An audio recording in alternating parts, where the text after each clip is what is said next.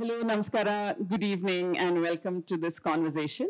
I don't know how many of you have read this book already. Can, you, can we have a show of hands? Okay. Uh, I hadn't until I was uh, asked to moderate this conversation. And uh, I hadn't even heard much about it, which is a great shame and a great pity because this is a fantastic book.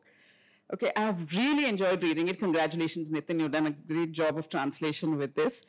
And I had no idea that there was a 2,000 year old text called the Nitopadesha. So this came as a big surprise, and uh, I have really uh, enjoyed reading it. But of course, when I first came upon it, when Ravi said, would you like to be in conversation? Are you free on the 30th of June? I said, yes, I am, and I would love to be in conversation with Nitin. And then he, he sent me this book, or he told me about it. I didn't, for once in my life, I didn't Google to see what it was. I waited for the book to come to me. And I assumed that this was a pun. It was Nitin's Upadesha. Okay, I think most of us did that, right? So I thought it was Nitin's Upadesha, and because he's into public policy, it's something about governance and public policy, and will probably be, uh, yes. I don't know to say. But yeah, I really thought it would be one of those, and I was wondering why I should be involved in it, but I thought maybe Gitopadesha, Nitopadesha, I don't know. So I was involved. And true to form, when I was true to my fears, when I started, when I first opened it, again, without looking at the contents, nothing, I just started reading, and I just want to read the first paragraph of the foreword to you. You open this book, and the first thing you come across is the foreword, and this is by Professor Vivek Debroy, and he says, I have not had the good fortune to meet Professor Asfandyar, but I've had the good fortune to see the manuscript of the Nitopadesha. As the translator says, it's most definitely in Tocharian, though it does not seem to be in either Tocharian A or B, the two commonly known forms. It seems to be in some kind of Proto-Tocharian. The machine translation has probably got some declensions and diphthongs wrong, but the sense, refined further by the translator, is undoubtedly right. This is the best we can do until ownership rights to the document are sorted out. Prima facie, it seems to date to the second century of the Common Era, when Toramana's destruction of Takshashila had not taken place. By this time, my head is completely spinning. I'm saying, what the heck is Tocharian? I'm sorry, I'm sure many enlightened people in this room will have, will have much familiarity with Tocharian. I didn't even know what it was. I didn't know that it was an old ancient language, nothing. So I'm saying, oh my God, this is really going to be a trudge. But because I admire Professor Debroy so much, and because I had to read it for this interview, I read through the foreword.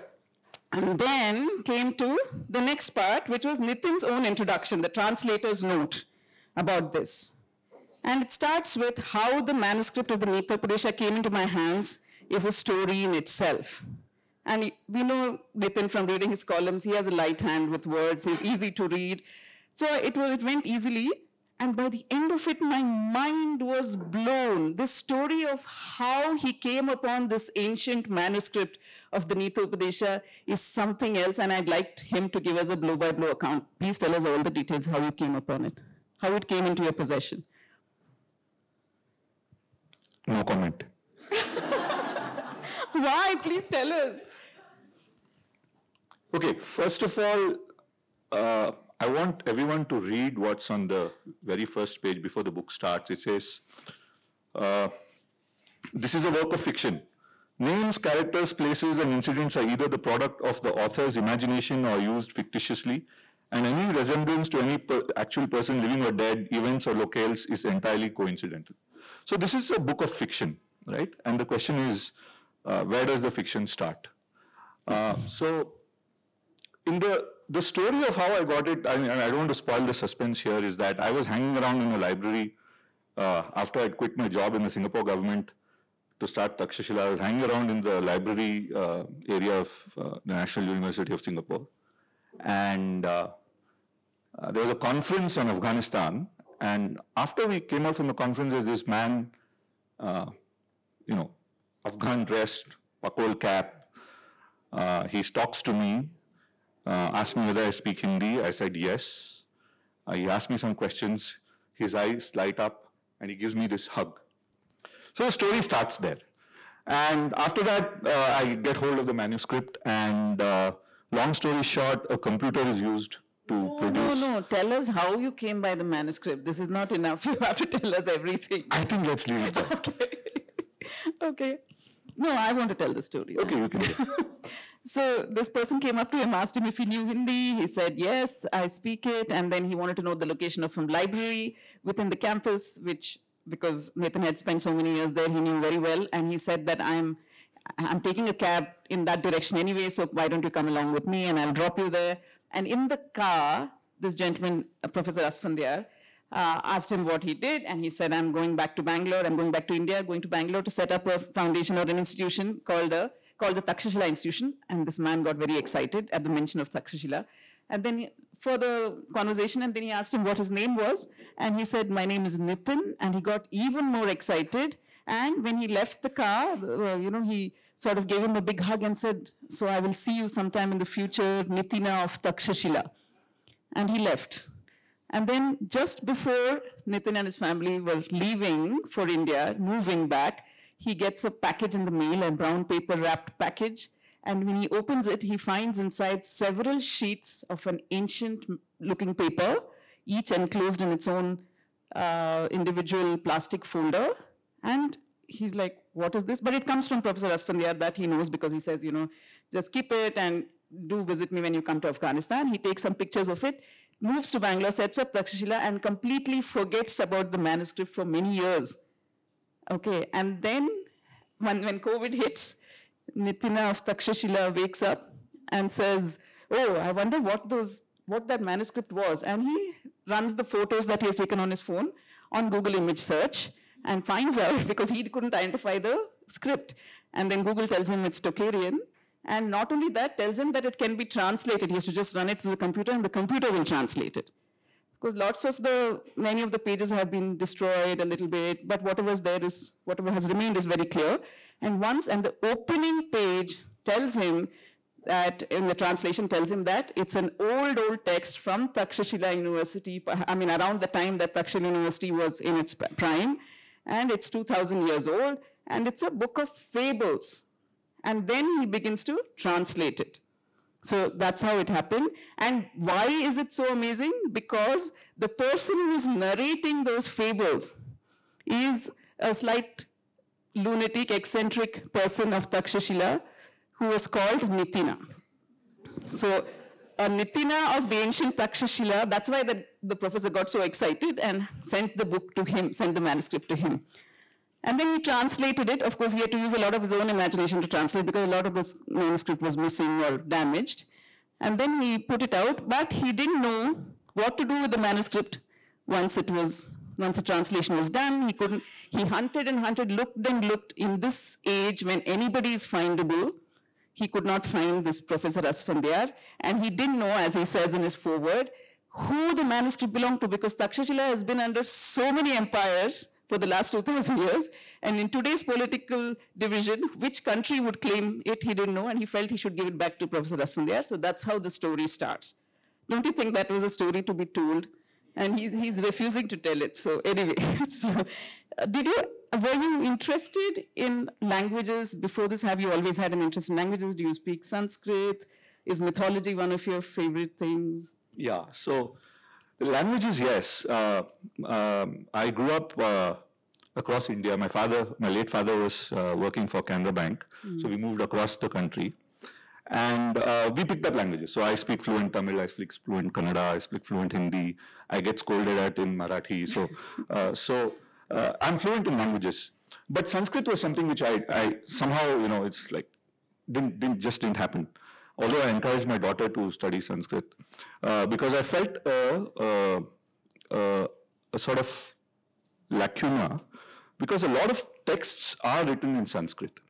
Uh, Arthashastra, for example, which we uh, use in Takshashila to teach public policy, is written in Sanskrit. We have many translations. We have the Shama Shastri translation, the Kangle translation. We have some uh, foreigners, uh, Patrick Olivelle, who's translated it. But we all read this text through the eyes of the translator. Right, Right? of course. But now, as an electrical engineer, as a public policy wonk in the 21st century, if I want to understand it, I can't read the original, right? So, not learning Sanskrit enough to be able to translate it was and I still feel that as a deficiency. The good news is there are very good translations available. Most Indian texts, um, popular Indian texts, have good translations, but most Indian texts in general are just not translated.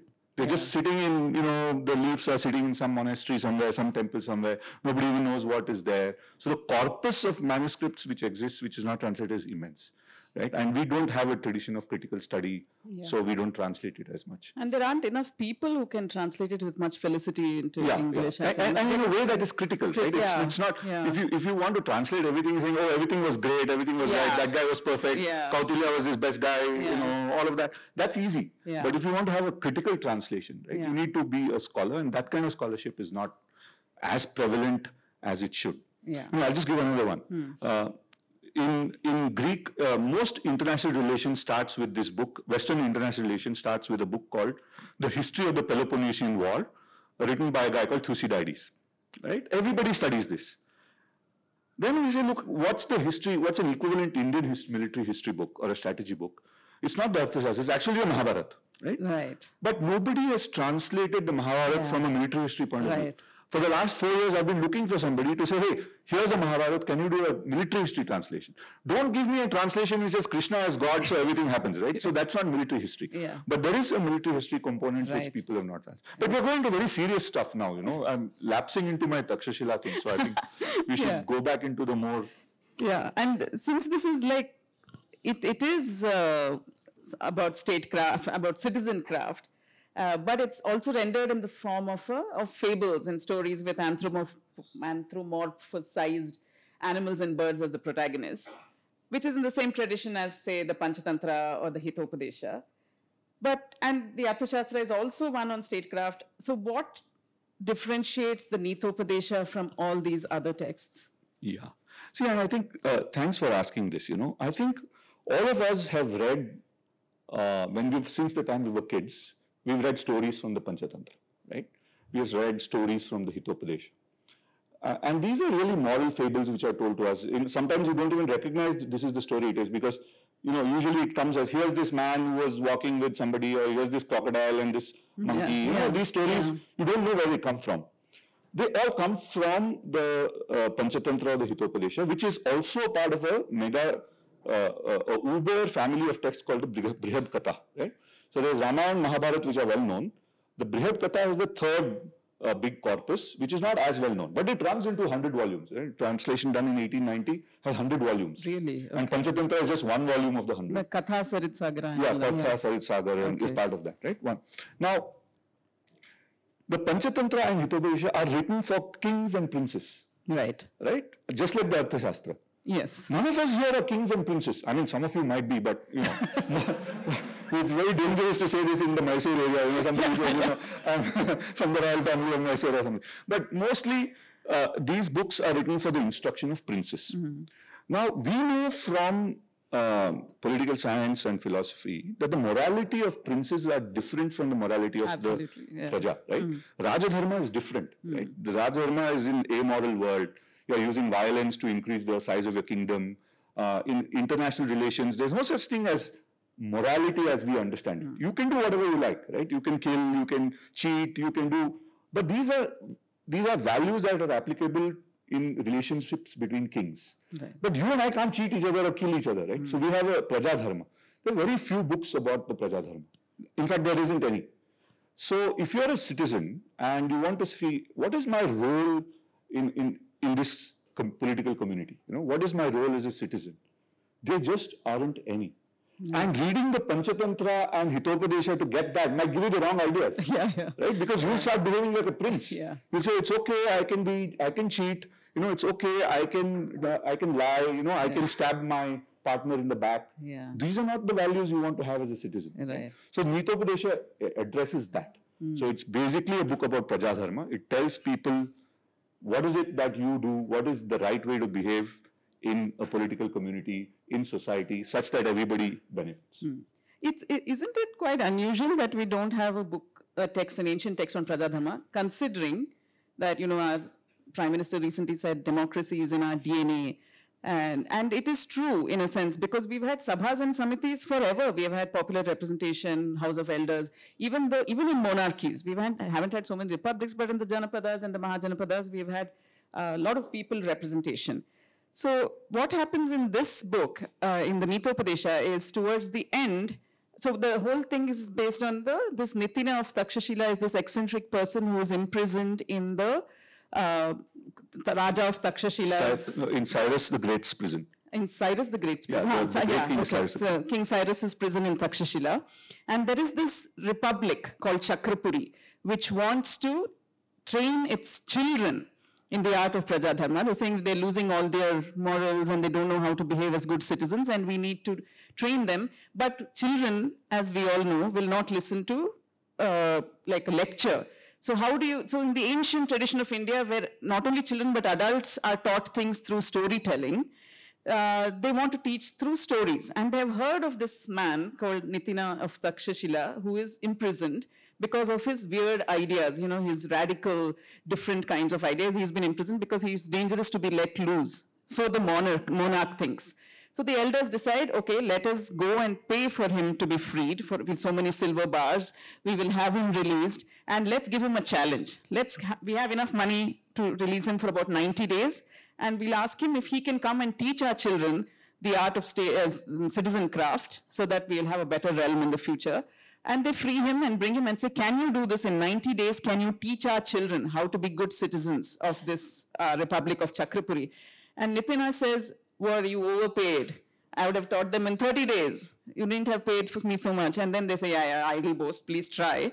And then he sits down under a tree and begins. And unlike uh, other teachers who choose like a, you know, a, a quiet spot by a stream, Vastu compliant. master compliant, sylvan surroundings, Nitina sits down in the middle of the marketplace, which is very much like teaching philosophy. The Gita's philosophy is taught in a battlefield, you know, that kind of thing. So he's sitting in the middle of the marketplace with all this noise and chaos around him, and he starts telling his stories. And by, by the end of 30 days, what, what, is, what they translate, what they have written as one turn of the moon, he's done. He's finished teaching them. The children are all educated, and the elders are like, elders of Chakrapuri are like, wow, this is amazing. But what has also begun to happen in those 30 days is that the children have begun questioning their elders. Because this is what learning is, and this is what inquiry is, according to Indian philosophy. Always, it is about the lamp of critical inquiry. Question, question, question, received wisdom. And so the children become bold enough to question everything, and the parents are like, uh, I think we should get rid of this Nitina politely. You know, we can't let him stay. But he's finished, he's done what he said he would, and the condition was if you do what you say, you, you ask what you're saying, within 90 days, if you can educate them, we will buy your freedom entirely from the king, and you will be free. And they had thought we will keep him here, but he was proving to be so dangerous that they said, we will get you freed because we keep our word, but we will also politely send you away. And they gave him a bullock, two, two bullocks, a cart, and said, why don't you go spread your knowledge in other places, but leave our children alone? So he left. And I'm wondering if the elders of the monarchies that came after the Janapadas, if they did something similar about, you know, taking the mm, Prajadharma texts out so that nobody would question the monarchies anymore. And all Yoga Kshema would be only dependent upon the king to deliver to his prajas, but the prajas had no responsibility or didn't know what they were supposed to do. They just had to be sheep. You know, yeah, you're right. See, I think the first thing about uh, in Indian history, I think we had all forms of government, right? And we also had, uh, you know, what you call village republics, where power was not in the hands of one chief, or even if it was a chief, it was, you know, distributed among a lot of the elders, and there was represent, in a way, accountable government. Hmm. I don't think it was democracy in the sense that everybody was considered equal and everybody had a vote on, you know, in how or things are. They had voice, hmm. right? But they didn't have vote. And even when you look at those republics, they couldn't just do what they wanted. There was some kind of a rule of law, hmm. right? They had to be compliant to the rule of law. So I think we could accurately say that there were republics in Indian history, but I don't think you can accurately say we had democracy. Right, okay. Democracy is a very new concept where everybody is considered equal, everybody gets a right to vote. Uh, but even when they were kings, the kings couldn't do, you know, exactly what, they, What they wanted. At least normatively, there was Raj Dharma, there were, there were, um, there were texts they had to get the, the they had to comply with the, the Brahmins who were the you know custodians of dharma and so on. So there was some kind of checks and balances. It was not absolute monarchy, at least normatively as we understand it. Right now, as to the question of why is there no text of Prajadharma? In fact, there is no text of Prajadharma in any society. Oh, okay. Most, in fact, many other countries it's even worse. It says that you know the king has got this divine right to rule. Yeah, thou shalt obey this guy. Yeah, that's true. You can only obey the guy, right? Yeah. So the only you you have a one line text. You know, obey obey the leader, right? Because he's, Yeah. he's he usually it's a he, Yeah. and it's he's he's you know he's appointed by heaven, and you jolly well do what he says, Mm-hmm. right? I, I think we had a little more of a tradition of inquiry, of accountability. Uh, within, of course, the Varnashrama dharma, right? So they were not, everybody was not equal. No. You, you know, if you're a high status Brahmin, you could get away with a lot of things. But if your status is not high enough, life was not as easy as it would have been, right? But we did have a tradition. But I don't think it was in the interests of anybody who had in power to let such texts proliferate. Right. Why would you want to tell people that you have the right to question, Question. the king? Yeah. Right? Why would you tell people that you have the right to question the, the religious leadership? Right? So you wouldn't. So you would try as much as possible to suppress these kind of texts Yeah. and you know keep people you know in in, in a way blind to their own rights Right. uh, and and the, the power that they wield. Yeah. That's why this is so significant, actually, that you managed to find an old text that actually said this. It makes us feel very happy about that in India, perhaps there were texts like this. And so much of it is in consonance with modern life. Some of it is so, and you wonder, wow, they already, they, they did think like that, and somehow along the way we've lost it. But um, there are four books right, in the Nitopadesha. The first is called the Jewel of Citizen Craft, which is about Prajadharma, the duties and obligations of the citizens. The second one is the thread of the science of prosperity, which is about markets and things, economics. And then there is a third, which is uh, the subtle scales of judgment, which is about sadachara or good behavior and morals. And then there is the last one, which is uh, what was The arrow of the arrow of policy. So it's about ethics in public policy. So these are the four. Now, Dr. Debroy, in his uh, introduction, in his foreword, he says usually these fable-based texts have five strands, like the Panchatantra. So they have five books. And he says probably Professor Asfandyar didn't have it or didn't send you. There must have been another book which is missing.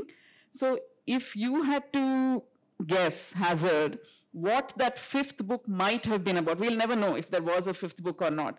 Probably never know. But if there was a fifth book, what might, what topic might it deal with? Actually, Professor Debroy alleges to be, I, I think you've been more diplomatic. Professor Debroy alleges that there was a fifth book, but either Nitin Pai or the publishers have censored it Right. because it might not be palatable to uh, modern audiences. His allegation is like this is, you know, uh, first one is about uh, uh, citizenship, then it is Dharma, about that's artha, dharma, artha, moksha. yeah. So he says the fifth one should probably be about kama. so this should have been about love, romance, sex, and either Nitin or the artificial intelligence was so prudish yeah.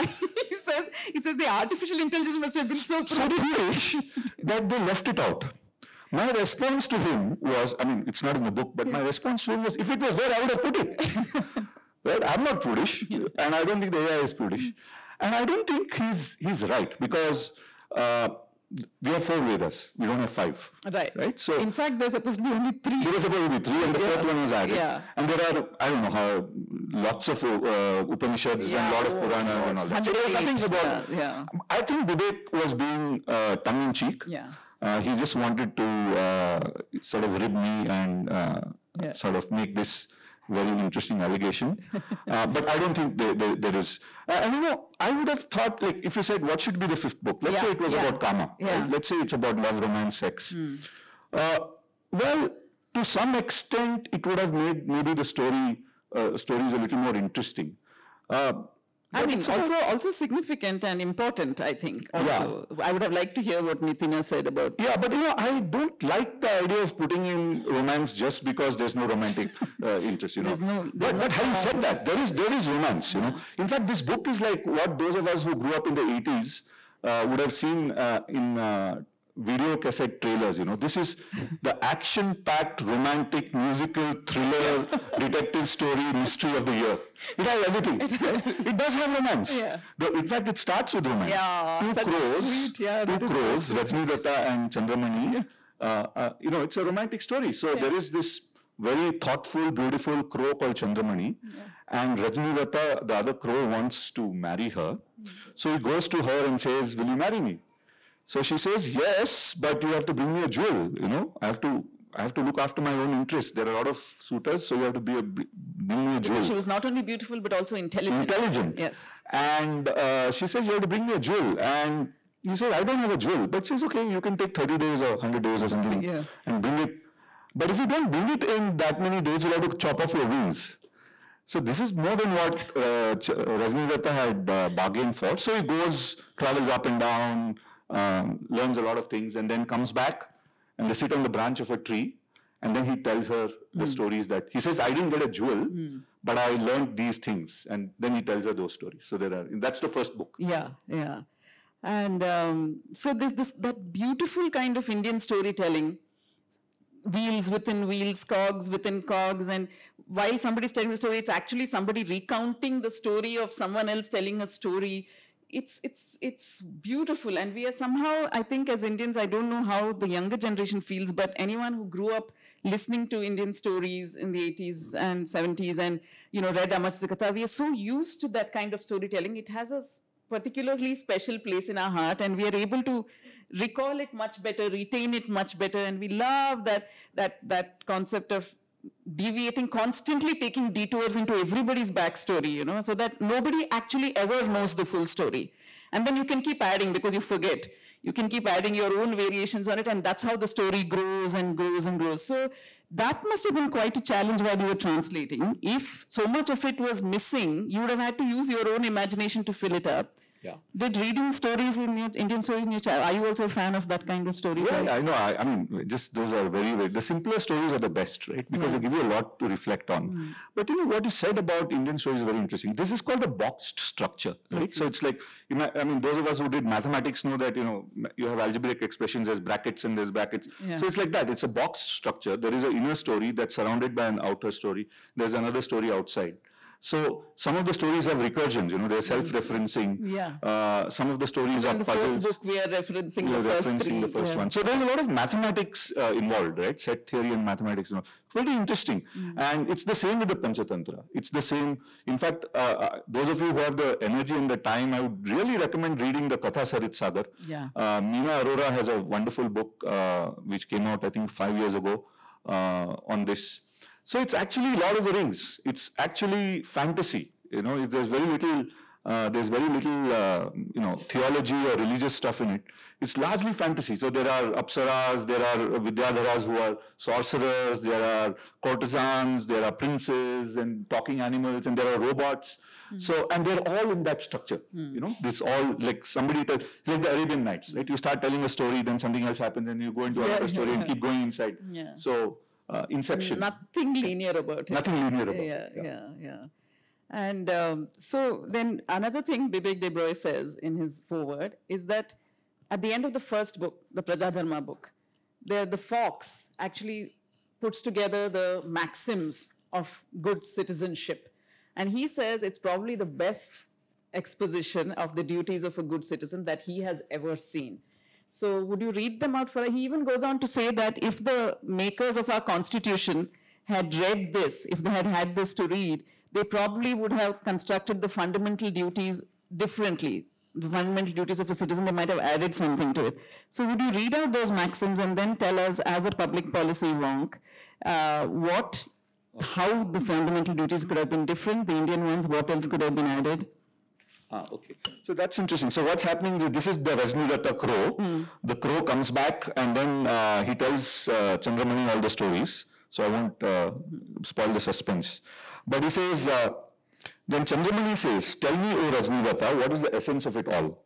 So Rajnidata replies, A hundred days have I traveled across forests, rivers, deserts, lakes, mountains, and seas. From what I have observed, perceived, heard, inferred, deduced, and analyzed. Now, these are the pramanas in Indian philosophy, right? Observation, Yes, perception, yeah. uh, what you hear, Anumana, inference, yeah. anumana, and all that. From what I have observed, heard, perceived, etc., this is what I have learnt. One must first choose a realm to live where there is rule of law, where people strive for a balance between selfishness and altruism, where mutual trust paves the way for cooperation, where there is a lasting harmony from playing one's assigned roles, where thoughtful rules fairly applied strengthen society's morals, where constant vigilance and critical voices protect all citizens, where actions are judged according to their consequences, where there are conversations, where conversations are polite, civil, and mindful. For in such a realm, there surely will be happiness, well-being, and prosperity. So that's what uh, is his learning about Prajadharma. What would you have added to the fundamental duties? What are we missing? So this is what he says. I mean, basically, he's saying you should be talking about, you know, supporting the rule of law. You have a duty to hold the feet to the fire. Mm. Maybe I'll read out a story that, that Yeah. brings that out. Okay. Yeah, sure. We have the time. Yeah, yeah, of course. I mean, each story is fantastic, and I love that whole Vikram Betal kind of ending, where the story is told and then a discussion on it. Yeah. Let me just find that story. Okay, this is uh, the this is Rajnilata telling uh, Chandra, Chandramani the story, right? It's the mongoose who was wise, who was wise and just. In the middle of the great southern river, there is an island by the name of Aurovilla. It was ru- ruled by a notorious lion, Durguna, whose depredations got worse by the day. The terror he created in the minds of his subjects was the basis of his rule.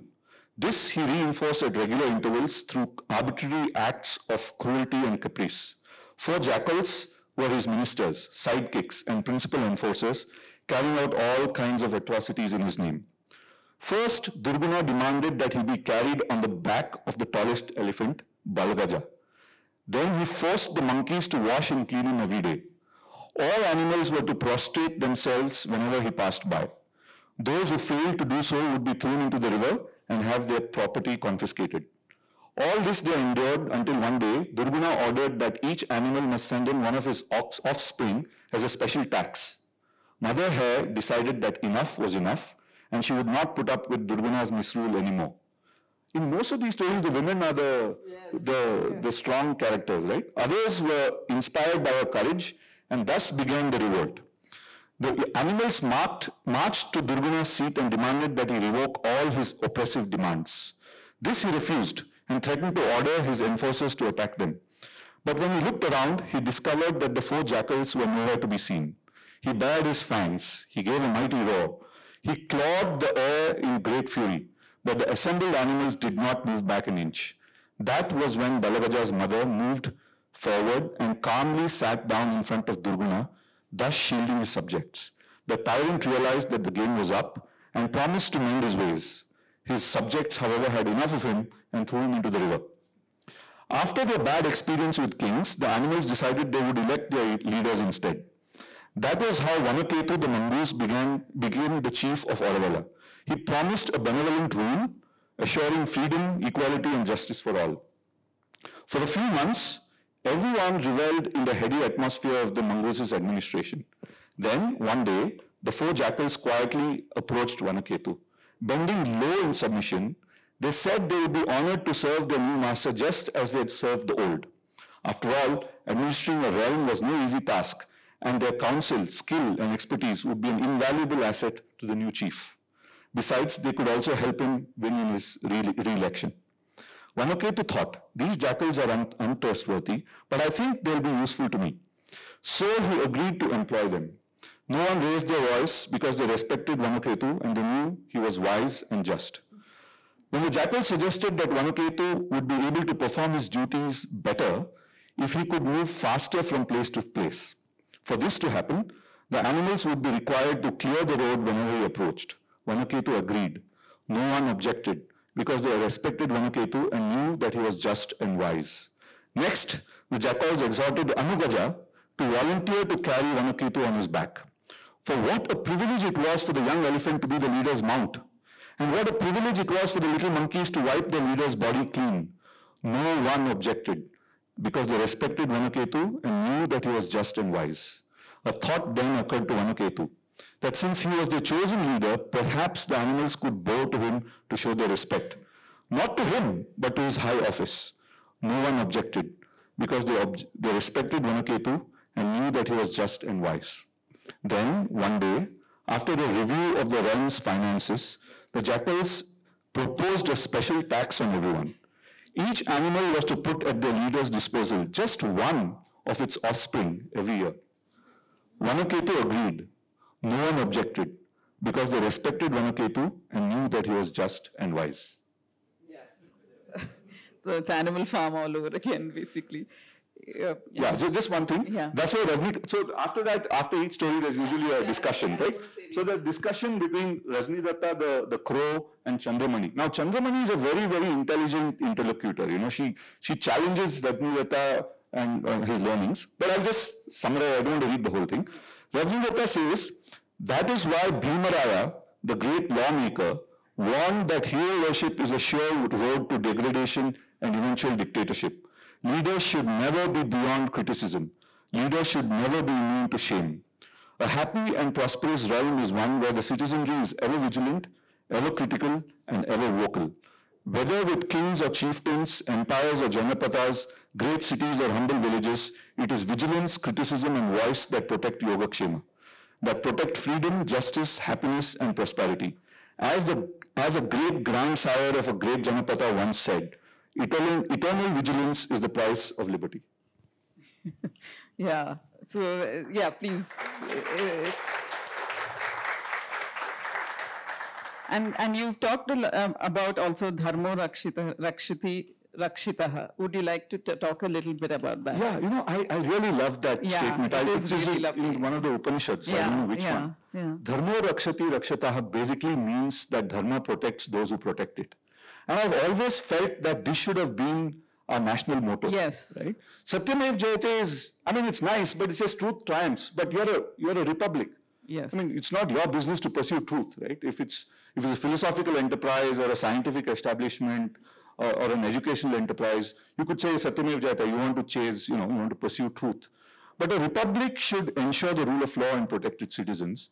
And Dharmo Rakshati Rakshata is a great Yeah. uh, statement. What it basically says that if you protect the system, the system will protect, Protect you. Yeah. yeah. It's So and beautiful. Yeah. And that's what so it is. Succinct also. So your, your, your job as a citizen Yeah. is to, in, in the modern context, is to uphold the constitution. Right. Right? If you strengthen the constitution of India, the constitution of India will support protect you, yeah. That's, that's what it is. So it's, it's a, it's basically a plea to be constitutional in behavior, to have a constitutional morality, Yeah. to act and expect others to act according to constitution. And even though it's such an ancient text, usually ancient text, particularly if it was originally written in Sanskrit and then translated to Tocharian, then it probably and came from Takshashila, it's very North India. But the names of places that are used in the book, they were so they were so delightful, and I was so happy to note it opens with in the town of Bandipura. And I was like, oh my God, that's us, you know. And then there was also Kundapura, and there is Begur, imagine. So, and then you said Himalaya just now, yeah, which is and there's Kovai. There's Kovai. There's Kovai and Pumpuhar. There's I know, Kovai, there's yeah. And there is uh, the northeast, many places in the northeast. Oh, wow. Yeah, and there's uh, Eastern India. Yeah. Yeah, so yeah. there are, and there are places outside India. There's Singapore and there's China. Yes, yes, There's China, I know, I know, There is, yeah. uh, there is uh, Sri Lanka. Yeah. So all those spaces which we would look at as you know the Indian sphere of influence. Yes, yes, uh, they're all there, and it's fantastic. And also, how much of what is said in this book has been has been uh, proposed as new ideas, you know, for uh, modern ideas. That is very surprising because when they talk about markets in the second book in Artha, they talk uh, about how price is decided in the markets. How does one decide what exactly to price a product? Uh, that so that it's not too high or too low. And they talk, and the, whichever the protagonist, he says that it's an unseen spirit moves through the markets, correcting the price. And that's Adam Smith, you know, the invisible hand. And I was like, my God, this is this is really amazing that all these are old, old ideas. We know this whoever, those of us who, who engage with the ancient Indian texts, we know that a lot of what are called modern ideas, particularly in philosophy and, you know, mindfulness and all these new trendy things are very, very old ideas, which have already been thought through by uh, our people and people across the world also. So it's always such a, such a thrill of recognition, you know, oh, they knew this as well. So you feel very happy about it. Did, was, did that surprise you? That's, but, but there are things, we'll talk about what things are very different uh, from the other ancient texts. But this one, that you know, two ways to look at it, right? One is, I think the realm of ideas, most ideas have already occurred. Right, Right, of course. We just rediscover them. Yes. So, for example, uh, there's this whole um idea of, okay, let's look at realism in statecraft, right? Uh, being amoral statecraft. A lot of people say, oh, Machiavelli invented uh, amoral statecraft, but Kautilya was 1,500 years ago, Yeah, right? yeah. Um, uh, if you look at uh, uh, Richard Dawkins, he's talking about skepticism and atheism yeah, today. yeah. Jayarasi Bhatta was 800 AD and he, he, he said very much the same thing that Richard Dawkins. Rigveda has skepticism. Rigveda. Rigveda has skepticism. So in that sense, I don't think the realm of ideas, there's that many new things which I think there are people who rediscover them. Sometimes it just comes to you, right? Because Mm. Yeah. people go through similar experiences. Of course. Come out, autodidacts, they come up with Yeah. it. Sometimes you just rediscover.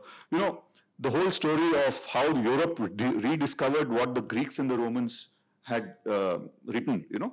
Very few people know this. The Greeks and the Romans, up to let's say 400 AD, Yeah. had a massive amount of knowledge, right, in philosophy, in science, and then Medical science, particularly medical science. medical science, yeah. almost every area, Yeah, right? yeah. And then around from 400 AD, people start forgetting it in Europe, right? Because there's Western Vandals, there are, there are- yeah, the. Roman Empire collapses, there are Vandals, there are all sorts of tribes, and they call those places the Dark Ages. Yes. Right? So 1,000 years. 1,000 years, they Yeah, forget everything. yeah. They become like, they go back to, you know, tribes fighting tribes, Right. superstition and all of that. Only the church sort of carries the lamp in some way. And then after the Crusades, when they acquire texts from the Arabs, yeah. who had translated Greek into uh, Arabic, Arabic. they retranslated back from Arabic into Latin. And then they discover Plato, they discover Aristotle, they discover Socrates and all of that, Yeah, right? yeah. So in that sense, you know, this business of And uh, the Arabs had done this very fine service of also translating Sanskrit things. So suddenly knowledge became Yeah, under, uh, everybody knew under everything. That, uh, yeah. that Caliph of Baghdad. I But yeah, yeah, name, Rashid, Harun al-Rashid. Harun al-Rashid, and they had the House of Knowledge where they translated knowledge from all uh, Yeah. from all domains. Right? So I think there is a tradition of uh, discovering, forgetting, rediscovering, Yes, forgetting yes, again, and so on. Yeah. Uh, where was I? Uh, What else did I want to ask? Okay, so would you like to read out? Uh, Would you all are the names? Did you find the names really unusual? Did you come across any other? There, there's also that really lovely story of the seven rabbits. Oh yeah. So I was wondering, you know, if that manuscript was not very clear, whether you made up these names by yourself. The the like I it reminded me of the seven dwarfs, you know, happy, grumpy, angry. This is like but these uh, these uh, these uh, rabbits are called something else. No? They're yeah, called. Buddha C and No, but that's that's uh, no, that- that's very easy. They are days, days of the week. yeah. They are days yeah. of the week. Why is the Sunday one called that? The last one is called. Let me tell you the names of the rabbits. yeah. The uh, okay, this is in the third book. Hmm. So this the structure is that uh, the two dogs, two uh, great dogs who serve the king of justice, uh, have a debate. One of the dogs decides that the Lord of Justice, who's Yama, Yama, actually, yeah. uh, has a very easy job. The guy is just sitting and doing nothing. So you know we do all the hard work, but he just sits there. So one of the dogs, uh, uh, Switani, I think. That's a beautiful story, So actually. the, yeah. other, the, the other guy is uh, Sumraka. Sumraka. Yeah. So Sumraka says this, and Shwitani is the other dog who says, no, actually it's not true. Our, our boss has the most difficult job. job, He's yeah. the toughest job in the world Yeah. and in the universe, and he's always busy. So he says, what do you mean? So then Switani starts telling this story to Sumraka, right? And the story is about seven rabbits. Okay, the seven rabbits, they, they live in a, a place called Harupesha in Kamarupa country. Kamarupa would be Assam, Assam, right? And the names of the rabbits are as follows. Somasa, Mangalasi, Budhasa, Gurusi, Shukrasa, Shanisi, and Badukupa. So, how did this guy Badukupa come about? So, those of you who know That company, you made one uh, I mean, it's one of them is uh, sounds like a male, and the other, the next one is. I think so, yeah. I think they're both, they're actually male and female. Yeah. So Somasa is male, Mangalasi is female, and so on. yeah. So they're not happy dumpy. Yeah, no, they're, they're actually, not all there's gender balance here. Yes, yes. Huh? But Babu Kupa in Konkani actually means stupid. Oh, okay. So the last rabbit is is, is stupid. Right? So that's, but that's did he act stupid in the? well, you read it, you'll find out. But anyway, so I don't know how the Konkani name came there though. Yeah, that's what I find. It's very nicely distributed across India in terms Yeah, of I just languages. happen to be Konkani, yeah, yeah. Uh, It does. but anyway, I'll read one of the stories is the rabbits tell each other. So what happens there is the rabbits confront this snake called Mahasarupa, right? This is this giant snake. So the rabbits are very naughty. They go into a cave where they're not supposed to go, and they get caught because they're trapped by a uh, by a great snake. And they tell like uh, you know it's almost like Andaz Apna Apna. They tell crime master Gogo, you know, aap ye hai wo hai. So then Mahasarupa the snake says, okay, I'll listen to you guys, uh, but I'll let you go if you answer these riddles. All of you can ask me a riddle. If I if I get it wrong, you can go. But if I get it right, then catch. Yeah. So so so they ask them riddles. So this is one of the riddles. Budhasa narrates this story. So you know the other rabbits have gotten away. So it's Budhasa's turn. So you know he, he asks the riddles. The, the the snake gets the riddles wrong. So this is the story of the three offenders. Once upon a time, in a town called Mokohima, there lived a notorious fox by the name of Forang. He was unemployed because he was lazy and would skive off work at a moment's notice. He always had a disheveled look because he was untidy and never would voluntarily clean himself. He was unreliable and no one depended on him to do anything properly. Above all, he was a drunkard, spending most of his nights at tavern at the tavern, consuming large amounts of mead and frequently making a nuisance of himself. One night, Forang drank even more than he usually did, and when he demanded another pitcher of the mead, the tavern keeper threw him out of the door. It was close to midnight, and an outraged Forang started singing loud, drunken songs, insulting the tavern keeper as he tried to find his way back home through the dark streets of the town. This caused many residents to swear and curse him for disturbing their sleep. After some more tuneless singing and aimless wandering, Forang fell into a gully, and fell fast asleep, snoring loudly. It so happened that Mangsho the pig was passing by at this time. He saw a pouch of coins lying beside the gully and picked it up. It was tied with a string with colorful beads used to identify its owner. From the sound of the snores nearby, he knew that the coins must belong to whoever it was sleeping there. He looked around and confirming that he was unobserved, quietly made off with the pouch. When Forang woke up the next morning, he found his pouch of coins missing. He looked in and around the gully, but there was no sign of the pouch. He walked back to the tavern and back again through the path he thought he had taken, but there, no, there was no sign of the pouch.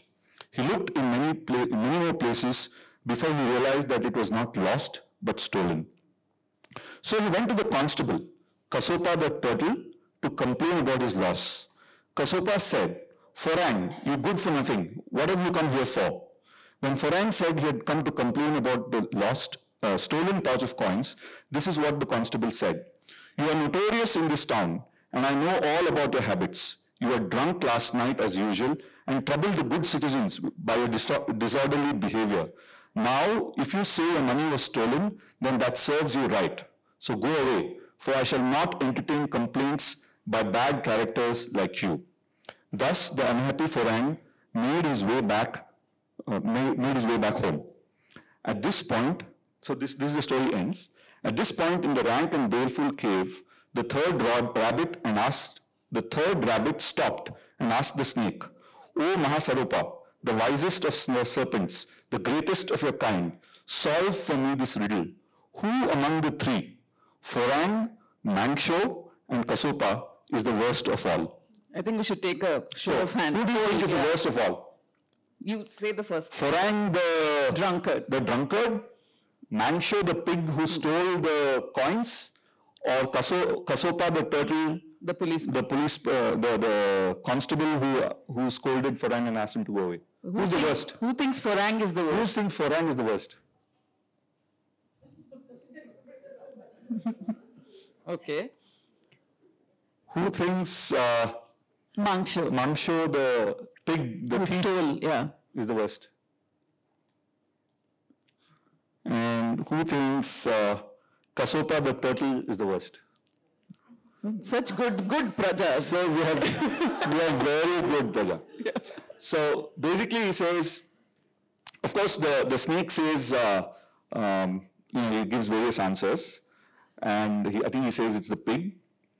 So the, the rabbit says, however, O strongest of serp- serpents, your answer is incorrect. You neglected to compare the thief and the constable to see who might be in the greater wrong. If you had, you are sure to have noticed that the constable's crime was worse, for he willfully refused to do his duty out of his prejudice against the fox.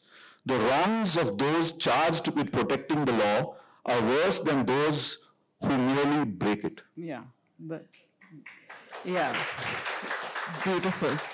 And we were. I was going to say, which were the? What is it about this text that's different from the other texts we have, the ancient texts? And I think the last uh, book, the the Arrow of Policy, which talks about equality, and which has as its chief protagonist and hero a female frog who saves the world from an evil villain. I just love that that an Indian text has this. You know, the the ancient Indian text, the female is the hero. So would you read us one of the stories of uh, what's her name? I forgot. Surasundari. Surasundari. Surasundari is a fairy, you know. Yeah.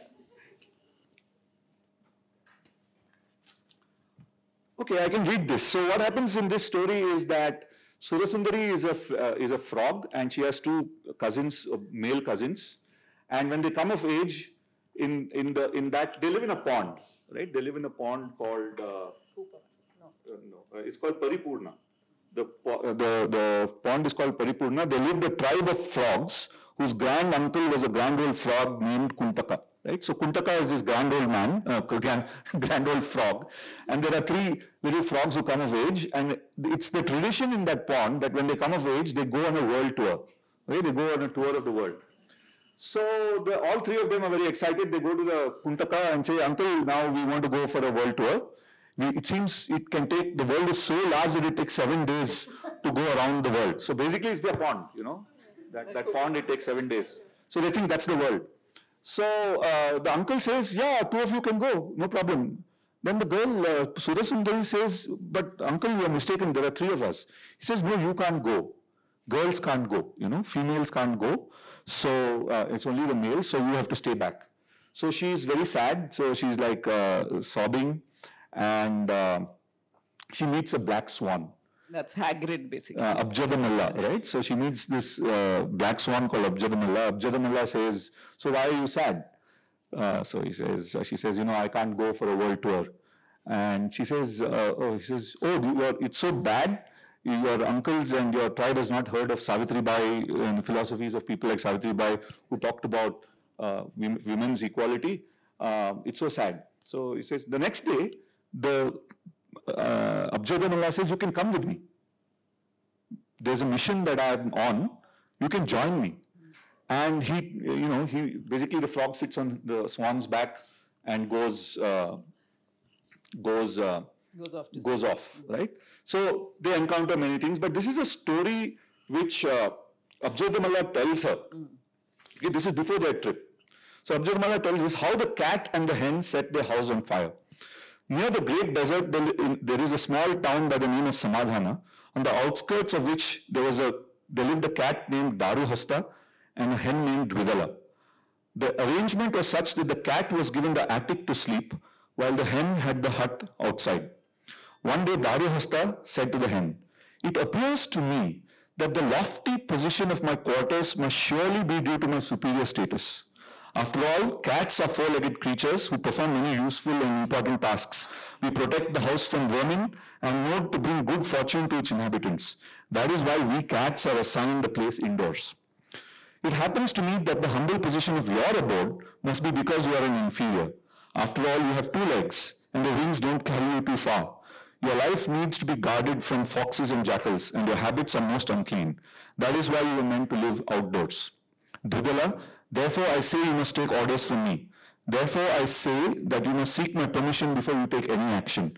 Therefore you must bow your head and speak softly when you address me. Just so you know, my claws are sharp as scissors, as are all my teeth. After this, the cat's attitude and behavior got worse by the day until the hen could no longer bear his oppressive conduct. So she said to him, Daryahasta, hear this. Hens perform more important functions for the household. Hens rid the house of worms and harmful insects. Hens provide food and sustenance to the house. Cats do not. Hens earn money for the household by giving their very lives. Cats do not. Hens guard the house from four-legged predators by sounding early warning, often at the cost of their own lives. Cats know only how to flee. It is clear that between cat and hen, it is the hen that is more important. That is why it is the hen that should have the higher status. Clearly, it is I who deserve the lofty place that you wrongly occupy. The cat refused to vacate his spot, and the hen began to treat the cat the way he used to treat her. They constantly quarreled on the living quarters. They constantly quarreled over sharing meals. They constantly quarreled over domestic duties and over the many repairs of the household. Every day was spent in argument as to who was superior and why. One night, Daryahasta decided to finish the matter by burning the hen's hut. So much the better if she was inside when, when he burns it. He took a flaming torch and burnt the hen to the ground. When he went inside the house, he was surprised to see Dvigala come down the stairs with a flaming torch in her hand. The smoke from the roof told him that his loft was up in flames. They both rushed out of the house to save themselves from death. Each ordered the other to fetch water from the well and put out the fire. They could not agree on who, could take, who should take orders, nor on where to douse the fire first. Thus, their house burned down and became a heap of ashes.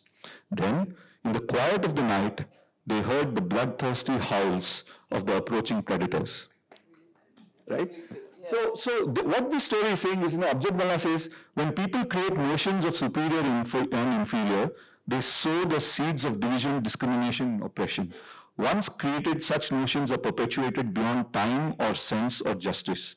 For who wishes to surrender advantages they get by birth? Once created, such notions destroy the soul of society and create cycles of oppressions that are endless until they are stopped. Nay, we should neither accept nor make any claims of superiority. For if the cat and the hen had accepted the principle of equality, their lives would have been longer, if not happier. Yeah. Right? So it's, it's what is basically saying is the, the way to correct injustice is not to perpetuate another kind of injustice, right? Right. So, you know, we used to talk about people see, some people see the world like this, and they say, oh, maybe we should use this, right? This, this is the glass. Yeah, it's not. It's, I finished the water. Oh, this is also full. full. Yeah. We need, this is okay. Yeah, no, I think we'll use this. Okay. Let's hope there is no accident, right? So, some people look at this and say, oh, you know, this is an unfair state of affairs.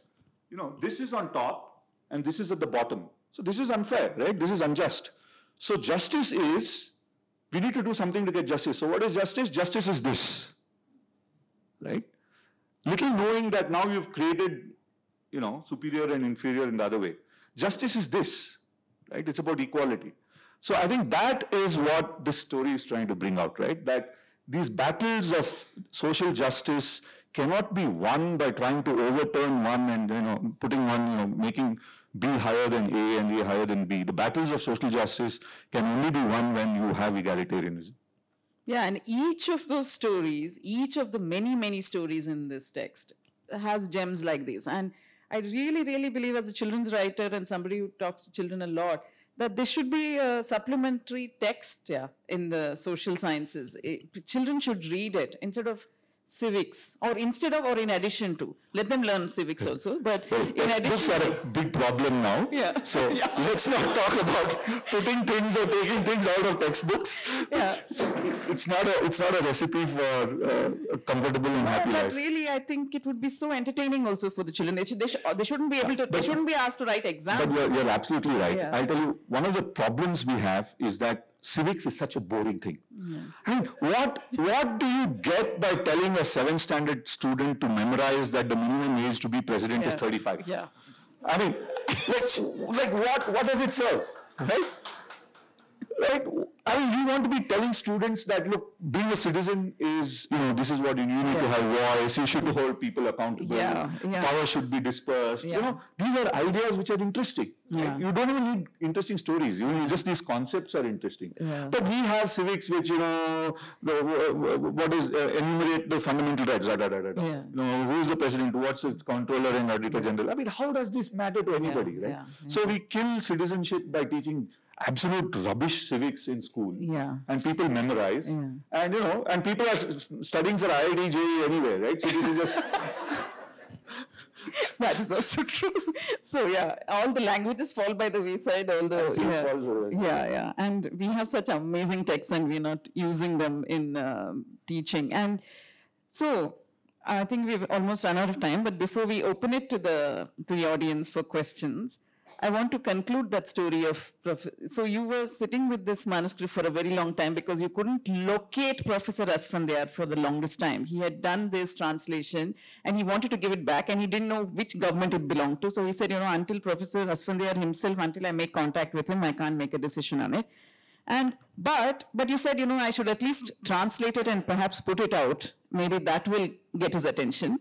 So he, you did that, and then a few days later, a few days after you had signed the contract, or maybe the book was published or something, he he actually got in touch with you, and he said, "I'm very happy with what you've done, and uh, I'm I'll be sending my son to pick and, it." and he said that it, I'm, I'm, I'm disappointed that it took you so long. Yeah, I'm disappointed it took you so long. I gave it to you 10 years ago. But I'll send my son and he will come bearing this card. And by this time, it begins to sound like the Da Vinci Code. And, and what makes it even more surreal and goosebumpy is that the professor is called Asfandyar and his son apparently is called K. Barman, who, if you look up Firdausi Shahnama, was a king of Persia and his father, Asfandyar, is a great hero in Shahnama. Okay, so I'm like, clearly these are pseudonyms and they're not, they're not, something's wrong with this whole picture, but you gave it back to this man.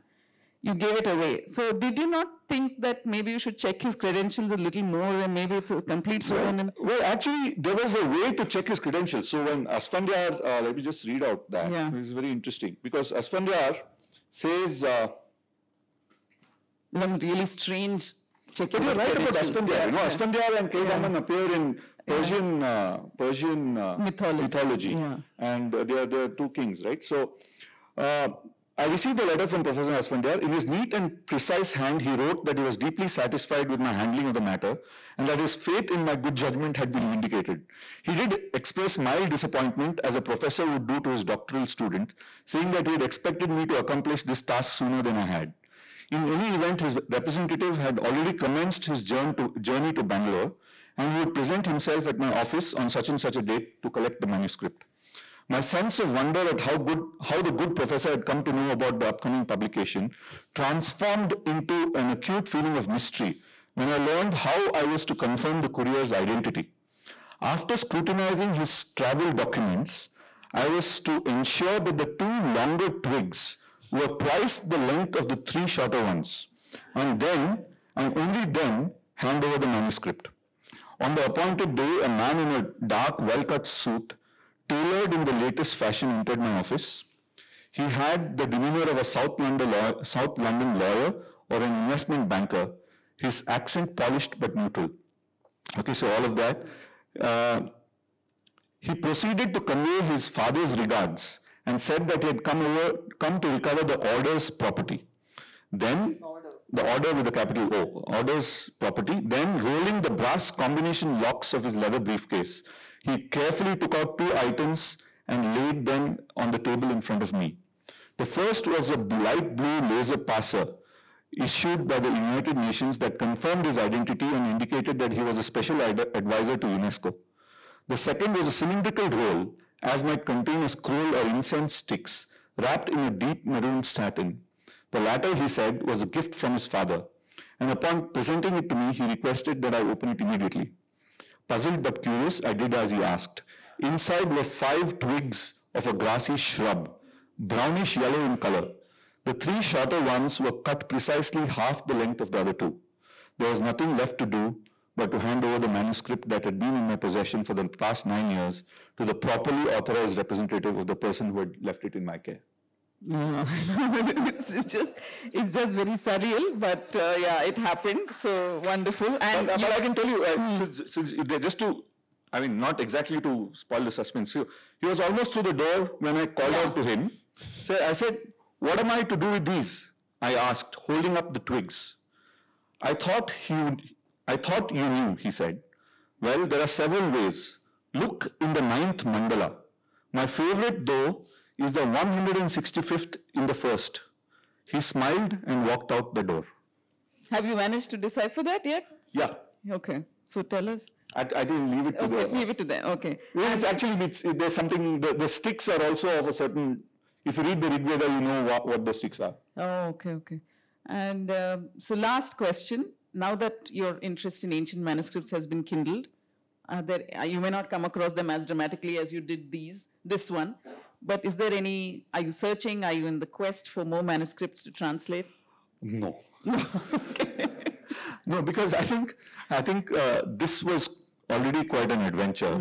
Um, and uh, I think there are enough stories here for, for a long period long- of time. yeah, Uh, but what is interesting is there are a couple of people who wanted to translate this into Kannada and Hindi. Ah. And one guy wrote to me from the United States and he said he wants to convert it, uh, translate it into Latin.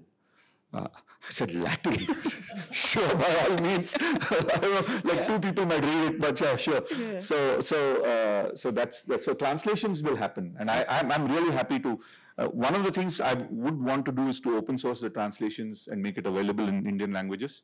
But, you know, copyright, etc. has to work Yeah, out, yeah. yeah. So thank you very much. That was a lovely conversation. Nitina of Takshashila. I give you Nitina of Takshashila and please ask your question.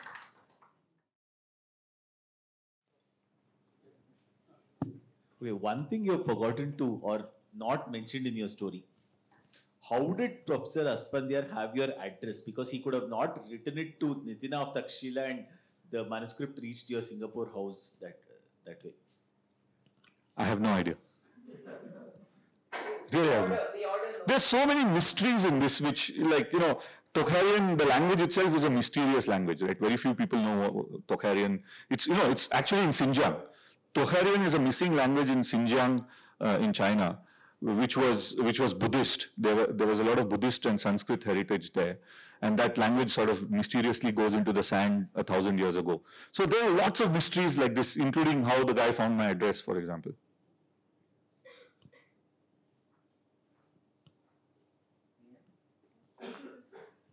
I, I have a question, uh, Nitin. You said that there's no document existing, as far as you know, which documents the relationship between the praja and the uh, the ruler. Yeah, I- if I got it right, right? But if you think about the Magna Carta uh, in England, you know, which was 1215, in a sense, it did put uh, certain curbs on the ruler and it gave the citizens certain uh, rights. It may not be a perfect example because it was done under duress. It was not something that organically evolved and it went through several iterations. Uh, But would you agree that the Magna Carta perhaps is one example? Yeah, in in in uh, in Western European tradition, yes, that's probably the first. But if you look at it before before the Magna Carta, right, it was largely uh, the Roman Empire and the Catholic Church, both of which said, "Look, you don't have any rights," right? Uh, but if you look at Indian uh, philosophy, you know, I'm always struck by this Mahabharat Shanti Parva, right? So where Bhishma is sleeping on this bed of arrows, waiting to die, you know, whenever there's some some astronomical period when he, you know, there's a moment when he wants to die, right? So, so he's sleeping on this bed of arrows, right? Imagine there's like, we've seen the Amar Chitra Katha versions, there's like hundreds of arrows on his back and blood is oozing out of it. Arjuna had shot. Yeah, which he shot, you know, and this blood is oozing out of it. So obviously the old man is in great pain and he's sleeping there. And then you know what happens? The Pandavas go there.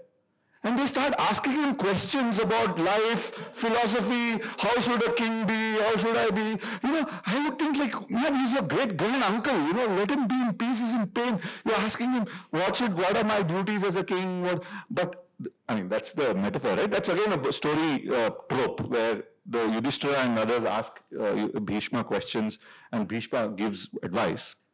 In that Shanti Parva, which is probably the distilled wisdom maybe about 2000 years ago, they actually mean, he actually says that the king does not have arbitrary powers, right? The king exists uh, in, in, in, in a way is accountable to the, uh, to, the, to, the, to the people, and the people have a right to throw him out.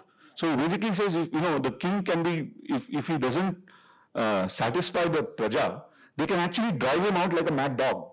You know, so the idea that uh, there is accountability to citizens was part of the Rajdharma corpus in India. Right?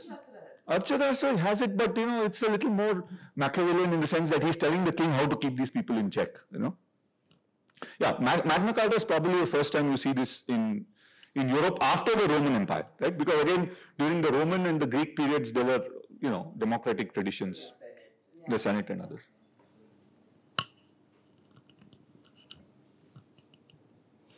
Hi, Nitin. Uh, so just one one thought, which is that uh, the four books which talks about you know I mean uh, citizenship and then economics and so on. Um, maybe I mean it's out of sync in time, but um, do you think the Nitopadesha would have something to say about technology? Nito, Nitopadesha Hitopadesha? yeah, I mean, the book. You think the, the old book would have had something to say about uh, technology and how citizens should be, how they should behave with the use of technology? That's a good one. No, I, at least this. The fifth book would have. The fifth book would have about technology. Uh, no, I think it's. there may be about. I think it's more likely to have been about love and sex than technology. I mean, in the order of importance, right? Hi, Nathan. Uh, I mean, of course, the book talks about the fact that some parts of the manuscripts were obscure and you know therefore it couldn't be recovered. I'm just I was curious to understand, to learn which are the parts which were reconstructed and which is the ones which were as is.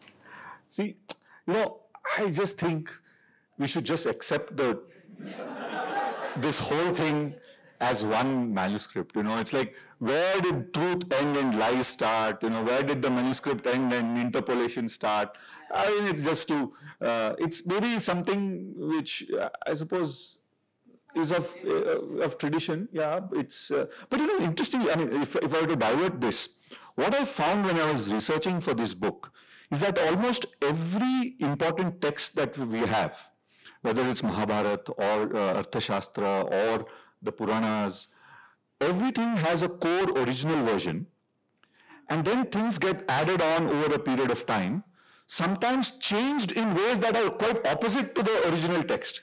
The Gita is a classic example, right? So there is there is an original Gita, and then there is a layer of Gita which is added on later in response to social uh, you know movements like Buddhism, Jainism, etc. Right? So so over a period of time, these texts get you know modified, sometimes in ways which are unrecognizable, right? The Manusmriti, for instance, has so many contradictory things within it, Yeah. which has been added later. Yeah, and then there are like open source versions. There are there are forks of the Mahabharata, right? There is a Kannada version, and there is a um, Indonesian version and Tamil version. So there are various versions that happen. So I think we should just look at it as this overall, you know, big set of ideas which evolve in various ways. Some of them are interpolated. Some of them are modern additions, like you know. Like what the traditional scholars did, right? I'm as guilty as the old older scholars that you just put some modern masala on top of a older tradition, right? And, and to serve your objectives. So almost every person who interpolated an older text had a certain objective, right? It could have been political objective, or it could be a social objective, or something. Uh, so following on that, so could we put a number uh, between zero to hundred? No. So okay, or uh, See, this is the problem with you engineers, no? no, could Or it, we engineers. could it be like a hundred percent? I mean, could it just be fiction? I can tell you that it's 100% fiction. That's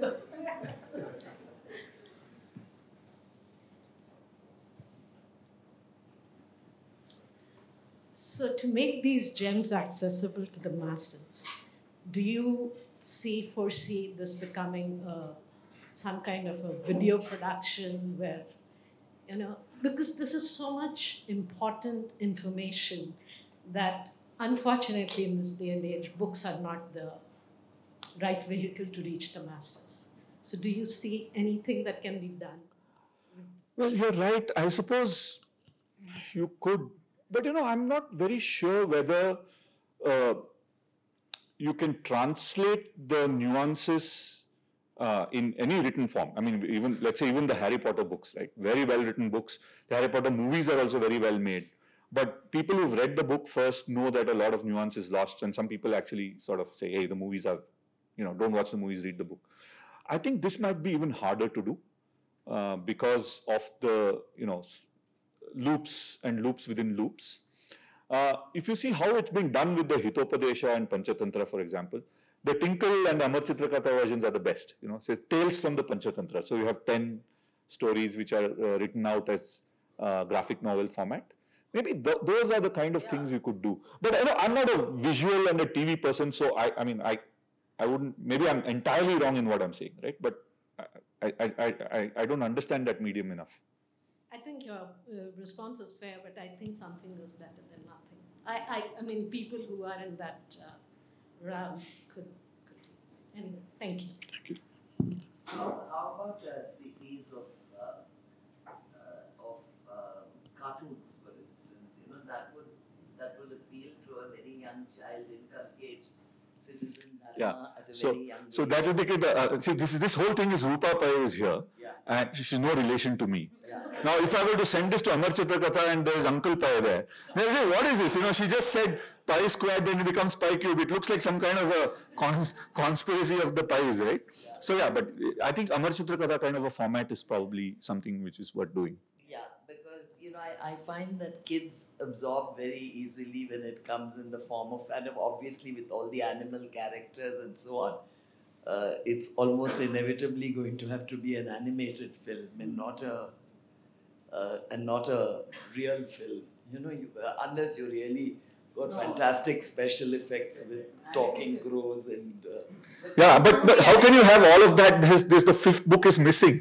with the fifth book, probably it would have and been. the question of copyright also. Yeah, yeah, right? yeah. That's that's another missing. We don't know problem. which government really wants it. Yeah, yeah. Manish. You inspired by any philosophy that is non-Indian or any stories from other? Oh yeah, ab- absolutely. In fact, no, almost everywhere. If you look at it, there is there is knowledge from uh, from all parts of the world. I mean, mm, all parts. Let's say the West, for example. No, there are a lot of this. For example, you're talking about markets here. You're talking about uh, um, you know uh, Adam Smith and the Unseen Hand. Talking about free markets, you're talking about capitalism, you're talking about morality, uh, ethical reasoning. You know, one of the conversations I had with Bibek Debroy, he said is that look, ethics is not a very Indian way of looking at things because ethics implies a very hard sense of right and wrong, whereas in the Indian philosophy doesn't make that kind of a hard distinction. What you should, you're talking about is actually sadachara, which is good conduct, right? So, but there is ethical reasoning in this. So there is a whole lot of this. But I just want to read out something about this business of, you know, is this knowledge Indian or not, right? Uh, there's a wonderful thing which uh, Nitina of Takshashila says, and he says, uh, uh, in the, in, when the kids interrogate him, right? So he's appointed as a teacher of the kids, and the kids interrogate him. So he says, um, you know, are you advocating this or something? So Nitina replies, what I advocate, that too in moderation, is anvikshiki, that is critical inquiry. As Kautilya rightly declares, critical inquiry is always in, considered the lamp for all knowledge systems, the right strategy for all activities, and the basis of all laws. Therefore, now Nitina says, examine what you've been told by your elders, your teachers, and indeed right now by me.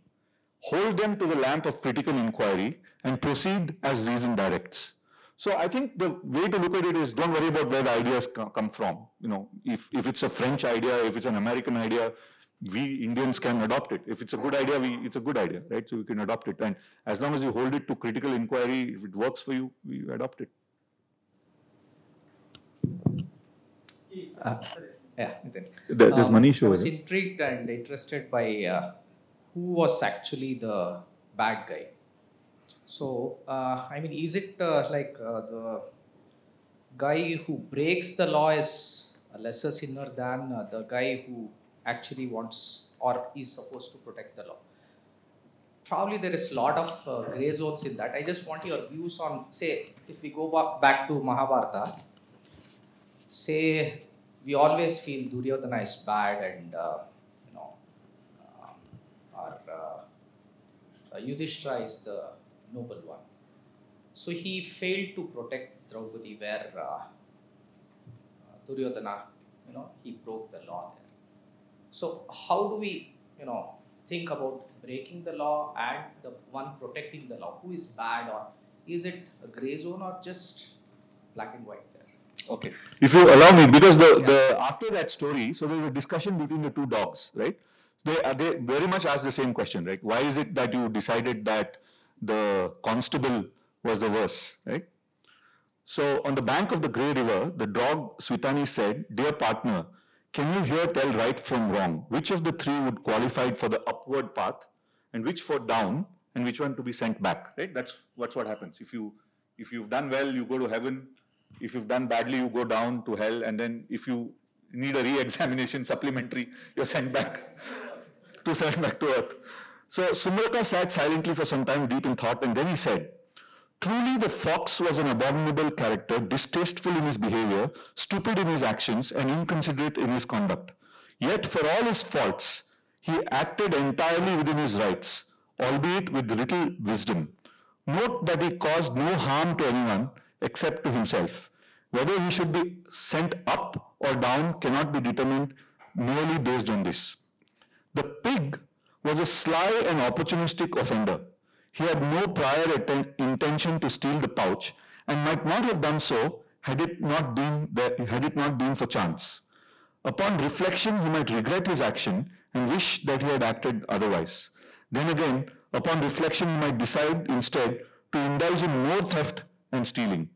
He has indeed committed a wrong, the crime of theft, and has caused harm to the fox.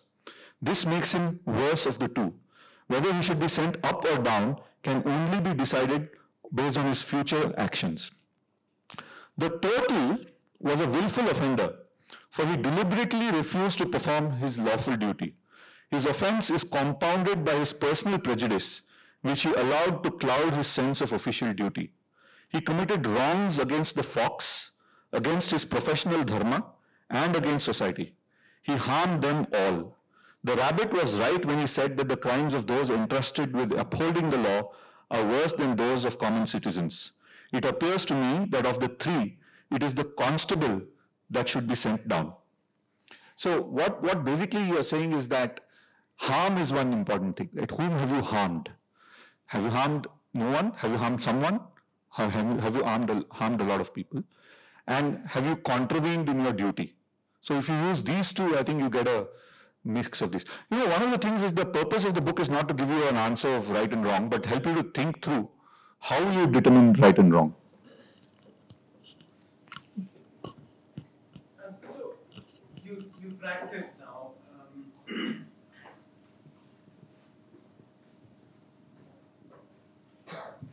so context really matters, right? Uh, between the past and now, and you know, lives at that point were nasty, brutish, and short, and you know, the context was completely different.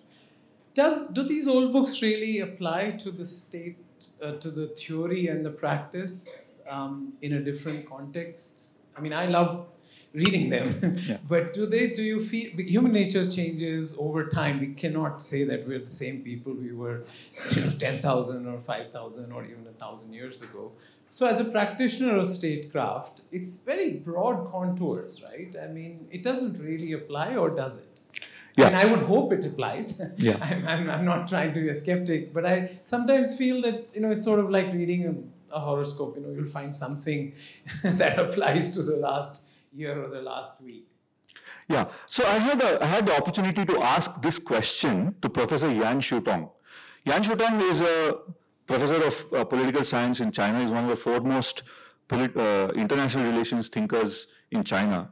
And I asked him this question. I said, look, there's this Chinese idea of international relations, right? Just like we have the Arthashastra, they have the Tianxia philosophy, how international relations are constructed.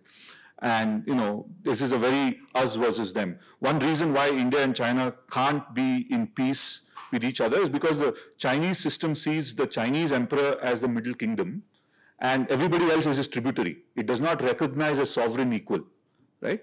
So when European ambassadors went to China in the 16th century, they were all put in jail because they came and said, I come to you in the name of the King of France. And they said, if you come in the name of King of France and claim to be our emperor's equal, you go to jail.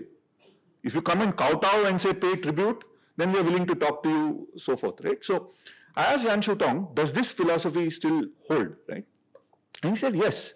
He says, deeply, deeply embedded in our civilizational psyche, the way we look at work, our epistemology, uh, there is this idea which we've received as tradition, which informs the way, the basic way we look at the world right? So our sense of right and wrong. Or in, in the case of the Chinese thing, the idea of a middle kingdom which is which has no equal. Whereas in the Arthashastra, he says, you know, there are many kings, you have a Rajamandala, each of them is a sovereign equal. They're all peers. You can just fight for supremacy, right? But you recognize that guy as an equal, which we do, right? Even in the Indian context, Westphalian international relations works wonderfully for us because we've always been used to a situation where there are many kingdoms. Each king is a nominally an equal of the other, but more powerful or less powerful. So I would think that this uh, idea holds, maybe not in the exact form. You know, it's not like how Bhishma told Yudhishthira how the king should be, or in the case of, uh, uh, well, let me give you a more interesting one. Kautilya in the Arthashastra says, one of the rules, jobs of the king is to maintain Varnashrama Dharma. Right? If you translate it literally, it means to maintain the caste system. Now, that can't be the job of a modern Indian state, right? The Republic of India's job is not to maintain the caste system. But if you look at what Kautilya was trying to say there, he was saying that you want to maintain social order, right? Social stability. The Varnashrama Dharma of that era was the way to maintain social stability. But if you look at the role of the state as to maintain social stability, that's what the Indian state does today. Right? Uh, most of our energies are spent on maintaining social order and social stability, over individual rights and freedoms and so on. So some of that still survives. I wouldn't say I wouldn't say all of it does, but the core of it does. Civilizational state versus constitutional state. Yeah. I think the strong version of the argument that we are a civilizational state uh, does not, you know, the idea, I mean, for those of you who are looking at what this means is like, they're saying, look, uh, uh, Indian civilization is largely Hindu in character, Indic in character. So Hindu civilization, Indian civilization forms a kind of a state. We're not a nation state as it was constructed in the last hundred years, but we have a longer history which has its civilizational roots. So are we a civilizational state? I think there is a lot which recommends itself. We are a civilizational state because our sense of values, our sense of right and wrong, our epistemology comes from Indic and Hindu roots. But we, we, are, we are still part of an international system where there are nation states and the constitution of India creates us as a republic. And that's the operating system that we are working on, right? So we, we can have, maybe we could look at it like, a, like, a, like an iceberg where deep below we have the civilizational ethos which holds us in place. But on top is the Republic of India, which you know gives us a sense of constitutional behavior. The good news for us is I think these are in sync. Our civilizational, um, mostly our civilizational character does not depart from what is there in the Constitution of India.